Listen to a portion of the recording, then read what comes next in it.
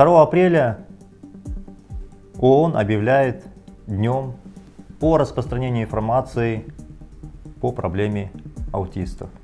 Это всемирный флешмоб, он пройдет по всему миру. Это день официально объявленный днем по распространению информации по проблемам аутизма именно ООН.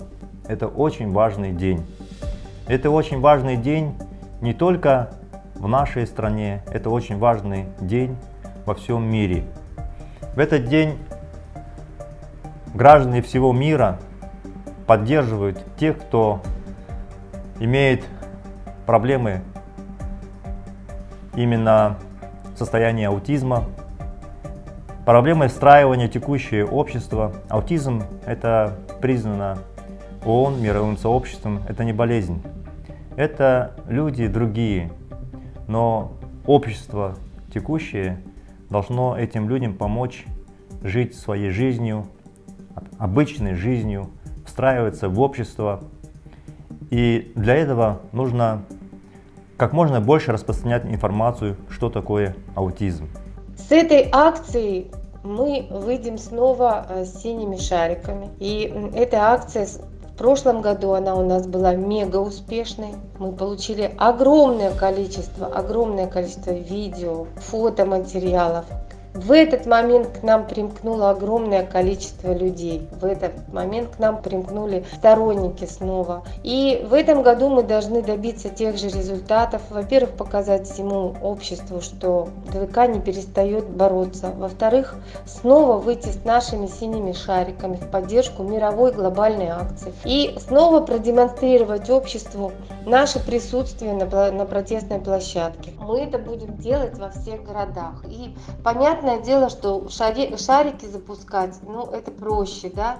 В прошлом году мы делали это в разных местах, то есть мы не собирались в каком-то одном месте. В этом году я предлагаю собраться где-то в одном месте, она, обозначить места и действительно, чтобы было понятно, что это и как, что мы вышли именно в поддержку этой глобальной акции.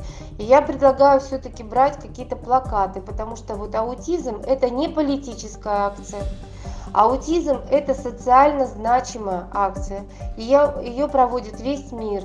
Мы предлага... Я предлагаю значит, делать плакаты с отсылкой на ООН и выходить именно с этими плакатами, что мы поддержим детей. Конечно, нам известно отношение Дороги Назарбаевой к детям, которые, э, к детям-инвалидам детям с ограниченными возможностями. Я считаю, что нужно время от времени детей водить на экскурсию в дома ребенка, в интернаты для детей-инвалидов,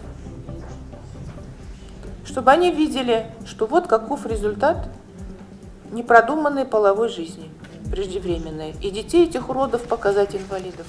Пусть смотрят.